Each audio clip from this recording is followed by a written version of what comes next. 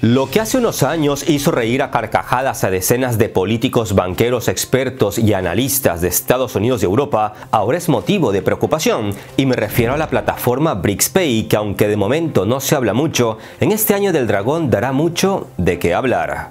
El 2024 comenzó con una noticia que no era noticia. Emiratos Árabes Unidos, Arabia Saudita, Irán, Etiopía y Egipto empezaron el primero de enero a formar parte del BRICS, mientras que Argentina, que también fue invitada al grupo, no se unió, una decisión que fue tomada por el actual gobierno presidido por Javier Milei. Mucho hemos hablado del BRICS en este canal, pero hoy nos vamos a centrar en un tema muy importante para la economía global y por supuesto también para la geopolítica, y me refiero específicamente a la plataforma BRICS-Pay, que avanza paso a paso, lento pero seguro, para convertirse en una alternativa en el sistema de pagos internacional. La plataforma BRICS-Pay se considera una herramienta que cambiará el volumen de transacciones comerciales y financieras entre los miembros del BRICS al simplificar los pagos entre los países miembros en monedas distintas al dólar y al euro. De ahí que muchos nos preguntemos, ¿harán la vista gorda los grandes centros financieros globales administrados por Estados Unidos y la Unión Europea o intentarán desde Washington y Bruselas sabotear el BRICS Pay Debido al BRICS Pay perderá poder e influencia el sistema de pagos interbancario SWIFT, que después del dólar es el arma financiera más importante del bloque occidental. Soy Gabriel Bulgakov y hoy les traigo unos datos de verdadero impacto sobre el BRICS, grupo financiero y comercial liderado por China, que de momento va ganando terreno al grupo de potencias lideradas por Estados Unidos. Sin más introducción, agárrense de sus asientos y empecemos. Estados Unidos y sus aliados, en su afán por mantener su poder e influencia global, han violado repetidamente sus propias reglas. Las potencias occidentales invadieron otros países cuando pensaron que era necesario, como fue el caso de Irak, Afganistán o Libia.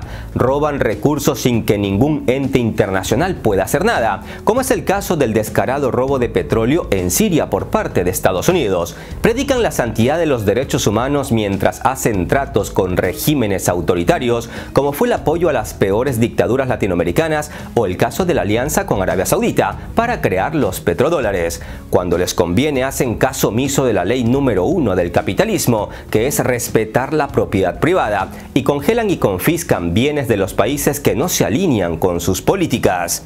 Cuando les conviene hacen caso omiso de la ley número uno de la democracia, que es respetar la libertad de expresión, y callan a quien divulga verdades incómodas. Contrataron especialistas por todo el mundo para que nos explicaran sin explicar unas reglas y leyes que todos debíamos obedecer e incluso crearon la Corte Penal internacional para básicamente procesar a los que no se alinean con sus políticas, negándose descaradamente a aceptar su jurisdicción sobre ellos mismos, como es el caso de Estados Unidos para el cual la Corte Penal Internacional es un cero a la izquierda. Desde la perspectiva de los países menos poderosos, como los países latinoamericanos, los africanos o los asiáticos, este orden mundial basado en normas que Occidente nunca explicó no ha sido más que hipocresía occidental a escala global. Todo lo dicho hasta aquí desgraciadamente no son palabras 100% de mi autoría, sino de un artículo de la prestigiosa revista estadounidense Foreign Policy, ni más ni menos. En el mismo Estados Unidos sus medios empiezan a cuestionarse cosas que siempre supieron, pero callaron. ¿Cómo te ha quedado el ojo, Federico? La prestigiosa revista estadounidense Foreign Policy subraya que Occidente durante muchos años, pero más que nada Estados Unidos, han hecho hincapié en el mundo basado en unas reglas que ellos crearon, sin siquiera habernos explicado de qué reglas hablan. Podemos deducir que ese mundo basado en reglas de las que hablan es la democracia, el derecho a la propiedad privada, el derecho a la libertad de expresión, etc. Sin embargo, las violaciones por ellos mismos de esas reglas creadas por ellos mismos permanecieron ocultas bajo el incomparable poder global de Occidente, que domina entre muchas otras esferas los medios de comunicación y las redes sociales más populares del mundo. Nadie fuera del círculo de las potencias aliadas de Estados Unidos, que más a menudo llamamos sur global, creían en el fondo que esas reglas no tan claras eran las que todos debíamos seguir ciegamente, pero al ver la superioridad militar de Estados Unidos, muchos llegaron a la conclusión, y con razón, de que debían actuar con prudencia ante Estados Unidos e intentar alinearse desde la sombra a las políticas de Washington.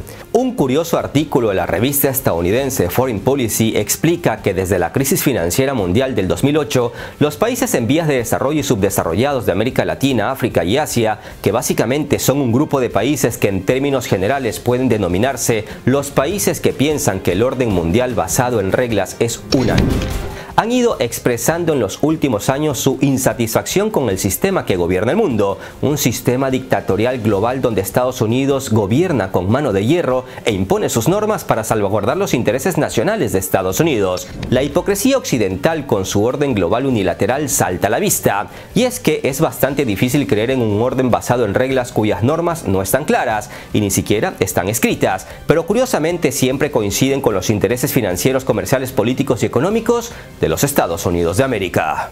Para malestar de Occidente, el mundo está atravesando un proceso de importantes cambios económicos, políticos y sociales. Estas transformaciones ocurren lenta y dolorosamente y van acompañadas de acalorados conflictos tanto fríos como calientes. Para evitar que el mundo se convierta en cenizas, la confrontación se está materializando actualmente en forma de guerras regionales por poderes e influencia, sin que las mayores potencias militares con arsenales nucleares inmensamente destructivos se enfrenten directamente entre sí. La lucha política y geopolítica de hoy es lo más parecido a lo que ocurrió durante la Guerra Fría. En la actual lucha por un nuevo orden mundial, por un mundo multilateral, vemos que la geopolítica mundial está siendo liderada principalmente por dos bloques. Por un lado el occidental con Estados Unidos a la cabeza y por el otro lado Rusia y China. Pero en medio de todos ellos participa otra fuerza que está formada por economías en desarrollo como la India, que si bien forma parte del BRICS, la India tiene buenas relaciones con Estados Unidos y Europa y busca hacer valer sus propios intereses con una política independiente tanto de China como de Estados Unidos. Muchos otros países latinoamericanos, africanos y asiáticos que han sufrido las reglas del primer mundo, que han sido saqueados y ninguneados, ven en el BRICS como una alternativa a lo que Estados Unidos no les dio o no los dejó ser y hacer. En ese sentido, sepan que los BRICS pueden convertirse en un centro de gravedad político y económico aún más importante que nunca, porque el sur global mira más hacia el BRICS que hacia Occidente. El sur global busca más un acercamiento con los países BRICS y un alejamiento de quienes los han saqueado y paralizado. Y es aquí, estimados amigos, donde el asunto se pone bueno. El BRICS, que seguramente pasará a conocerse como BRICS Plus tras la integración de cinco nuevos miembros donde, reitero, Argentina no se quiso unir, en este 2024 se centrará principalmente en desarrollar la plataforma BRICS Pay, durante algún tiempo esta plataforma fue considerada una quimera por los economistas neoliberales occidentales, pero se está convirtiendo gradualmente en una alternativa en el sistema de pagos internacional. En su momento los medios especularon mucho sobre la creación de una moneda BRICS, pero en un video explicamos que eso en realidad no se estudiaba seriamente en estos momentos dentro del grupo BRICS, porque en estos momentos una moneda BRICS les crearía más problemas que beneficios. Pero una plataforma de pagos como alternativa al SWIFT es una idea que va tomando cada vez más forma y relevancia. BricsPay se lanzó como una nueva plataforma de liquidación financiera. Se considera una herramienta que cambiará el volumen de transacciones comerciales y financieras entre los miembros del BRICS al simplificar los pagos en monedas distintas al dólar y al euro, específicamente en monedas nacionales de los países BRICS Plus. Usted, estimado Federico, que ni siquiera puede ubicar a Jerusalén en un mapa, me dirá, nada, vende humos, ese BRICS no sirve para nada, pero permítame decirles que el BRICS Plus integrado por 10 países representa el 45% de la población mundial y el comercio entre los países miembros no está haciendo más que crecer, por lo que es de esperar que el comercio entre ellos se haga exclusivamente en monedas nacionales en detrimento del dólar. Que el dólar seguirá reinando durante muchos años es muy cierto, pero es evidente que al haber alternativas comerciales y financieras distintas al dólar, euro y SWIFT, los BRICS Plus lograrán que las sanciones de Estados Unidos ya no surtan efecto o que el impacto sea mínimo. El sistema de pago internacional BRICS-Pay es una alternativa al SWIFT y puede servir para muchos propósitos, como el comercio internacional, los pagos transfronterizos entre empresas, la inversión y las microfinanzas. El BRICS-Pay es un paso importante del grupo BRICS para hacer que el comercio entre los países miembros sea simple y fluido, y lo que es no menos importante, para que las transacciones sean rápidas y seguras, ya que el sistema BRICS-Pay está construido sobre la base de una cadena de bloques, conocida en inglés como blockchain, una tecnología de pago famosa por su ultra seguridad. Al usarse el blockchain no hablamos necesariamente de una moneda digital de un banco central ni de una criptomoneda específica. El BRICS-Pay está diseñado como un servicio digital que no tiene una única moneda aceptable. Está diseñado para que se pueda utilizar cualquiera de las monedas de los miembros BRICS esta nueva plataforma de pagos internacionales muestra que los países BRICS se están tomando muy en serio su objetivo de alejarse lo más posible del dólar y evitar las presiones políticas y económicas de Estados Unidos. Sepan que BRICS Pay ha sido adoptado por varias instituciones y empresas en los países BRICS y la lista está creciendo, tanto que varios bancos occidentales estudian unirse para no quedarse aislados de un nuevo marco financiero internacional. Un importante banco de la India lanzó una aplicación móvil impulsada por BRICSPay para transacciones transfronterizas, mientras que el Sberbank de Rusia se asoció con BRICSPay para permitir a sus clientes realizar pagos transfronterizos. De manera similar, el banco ruso BTB también ha integrado BRICSPay en sus sistemas, lo que permite a sus clientes realizar pagos rápidos y seguros a otros países BRICS, usando monedas nacionales del grupo y sin la ayuda del archiconocido sistema SWIFT, ni mucho menos del dólar. Con la ayuda del sistema BRICS-Pay, el banco ruso BTB se está ampliando fuera del grupo BRICS y ofrece a los turistas rusos en Turquía la alternativa de poder realizar transacciones de pago. Recordemos que Rusia tiene un sistema de pago con tarjetas llamado MIR, que es una alternativa a Visa y Mastercard. Y en Turquía, uno de los mayores destinos turísticos de los rusos, el sistema ruso MIR funcionaba con mucho éxito, hasta que hace poco más de un año Estados Unidos le puso un ultimátum a los bancos turcos o dejaban de aceptar las tarjetas rusas con el sistema de pagos ruso MIR o Estados Unidos les restringía el acceso a los dólares. Obviamente los bancos turcos se vieron obligados a rechazar el sistema de pagos rusos MIR para no perder el acceso al sistema de los dólares. Como saben, son cosas de libre comercio que impone el tío Sam. Bancos como el Banco de China y el Banco Industrial y Comercial de China, uno de los bancos más grandes de la República Popular China, también han integrado BRICS-Pay en sus sistemas y lo han implementado para transacciones transfronterizas. En Brasil, Petrobras también ha comenzado a utilizar BRICS-Pay para transacciones transfronterizas. En el corazón de la plataforma se encuentra el nuevo Banco de Desarrollo, a veces llamado Banco BRICS, ya que es propiedad colectiva de los países BRICS, donde se procesan todas las transacciones financieras entre los países BRICS. Sin embargo, como decía, BRICS Pay no se limita solo a los BRICS. El banco británico Standard Chartered ha integrado BRICS Pay en su plataforma de pagos digitales para permitir a sus clientes realizar pagos a los países BRICS. Y es posible que otros bancos británicos y europeos sigan su ejemplo. En general, este nuevo servicio de pago basado en blockchain tiene potencial de crecimiento y desempeña un papel importante en la promoción del comercio y la integración entre los países miembros del BRICS que están creciendo y superando a las tradicionales potencias occidentales, para malestar de los Estados Unidos de América. Pero los centros financieros globales centrados en Estados Unidos y la Unión Europea harán la vista gorda ante la creciente popularidad del BRICS Pay. ¿Representa esta plataforma del BRICS una amenaza seria para ellos? El SWIFT, que es el arma financiera más importante del bloque occidental, se verá afectada por el BRICS Pay. Por el momento, los BRICS se muestran cautelosos y dicen que el SWIFT seguirá siendo la ruta clave para las transacciones denominadas en dólares, pero subrayan que el BRICS Pay incorporará otras monedas nacionales dentro y fuera de los BRICS, lo que califican como un paso lógico hacia el crecimiento multipolar global que está teniendo lugar actualmente ante nuestros ojos. En otras palabras, desde el seno del BRICS no instan a sus miembros a boicotear el SWIFT, algo que desde el punto de vista de ellos sería imposible e irracional debido a la estructura de la economía mundial. Sin embargo, hay una verdad muy cierta oculta en todo esto. A largo plazo el BRICS Pay socavará gravemente el dominio del dólar y el SWIFT en los sistemas de pago internacionales. Y conociendo los celos en Estados Unidos por la competencia internacional, lo más seguro es que muy pronto prohíban a sus bancos unirse a la plataforma BRICS Pay, pero eso solo el tiempo lo dirá. ¿Por qué es necesario un BRICS Pay si ya existe el SWIFT o para qué pagar en otras monedas si se puede pagar con dólares? Son preguntas que todavía se harán algunos. Lo primero que hay que tener en cuenta es que el BRICS Pay no intenta de ninguna manera aniquilar al SWIFT y quizás ni siquiera hacerle competencia. Tampoco hay que creer que los países BRICS se complican la vida realizando los pagos en sus monedas nacionales. Hay que entender estas decisiones de los BRICS como una alternativa. alternativa. La gota que aceleró el desarrollo de alternativas financieras y comerciales fueron las sanciones y bloqueos a Rusia tras su invasión a Ucrania.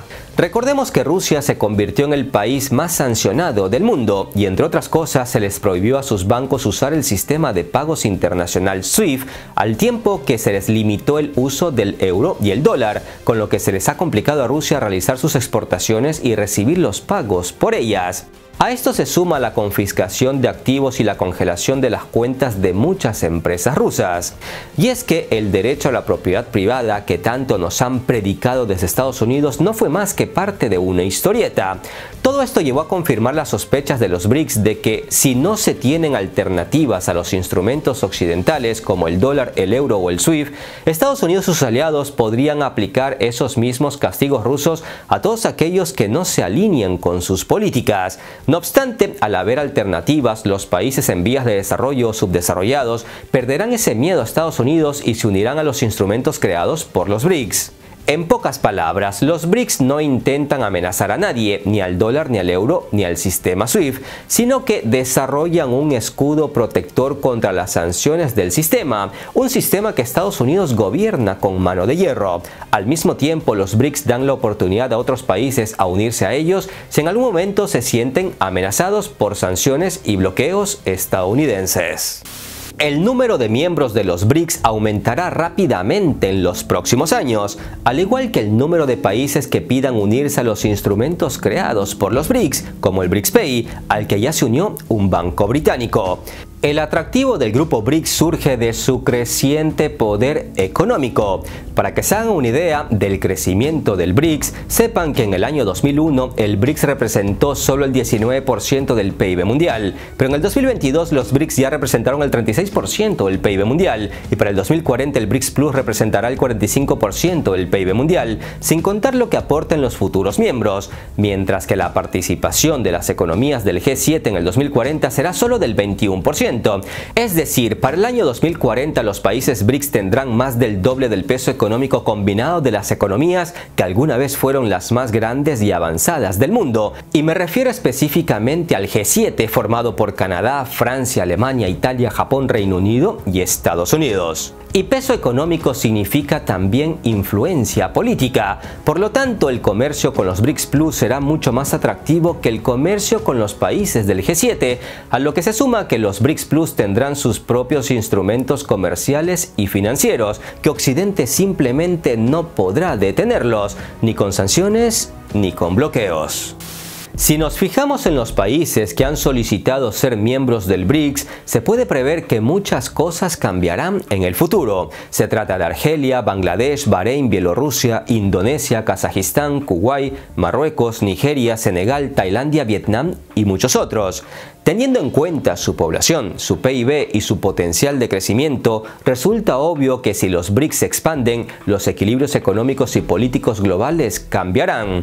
Por supuesto, hay que esperar interferencias del bloque occidental, pero una cosa es segura, los BRICS a largo plazo parecen el candidato más importante para convertirse en el centro de gravedad de un mundo multipolar. Pese a todo, los expertos advierten que los BRICS Plus sufrirán contratiempos, debido a que, por ejemplo, China tiene serios problemas de deuda y está intentando arreglar su mercado inmobiliario, o a que la India de momento no alcanza a despegar del todo. El uso de las monedas nacionales tampoco lo resuelven todo. Rusia y la India intentaron pagarse con rublos y rupías, pero el experimento resultó ser desastroso. Por otro lado, las disputas entre China y la India India tampoco suman nada en el grupo BRICS Plus, pues la India sigue siendo reacia a usar yuanes, la moneda de su compañero dentro del BRICS. Esto se debe a que China no deja de ser un competidor de la India en el comercio internacional. Pese a todo, todos parecen llegar a la misma conclusión. Los BRICS cambiarán el mundo principalmente debido al crecimiento de su participación en el PIB global y la diversidad de sistemas políticos y económicos, donde el BRICS Pay tendrá un papel preponderante. ¿Y tú, de parte de quién estás? Los leo en los comentarios. Un abrazo de paz y esperanza a todos. Feliz 2024 y hasta la próxima. Hace unos años, el grupo BRICS presentó al mundo el BRICS Pay, un sistema de pago internacional como el SWIFT, pero sin usar ni dólares ni euros. Muchos políticos, banqueros, expertos y analistas de Estados Unidos y Europa se rieron entonces a carcajadas, pero ahora en este 2024, esta plataforma de pago BRICS ya es motivo de preocupación en Occidente. La plataforma BRICS Pay ya se considera una herramienta que cambiará el volumen de transacciones comerciales y financieras entre los miembros del BRICS al simplificar los pagos entre los países miembros en monedas distintas al dólar y al euro. De ahí que muchos nos preguntemos, ¿harán la vista gorda los centros financieros globales administrados por Estados Unidos y la Unión Europea o intentarán desde Washington y Bruselas sabotear al BRICS Pay? Esta y otras preguntas intentaremos responder en el siguiente video. Haz clic abajo para verlo completo.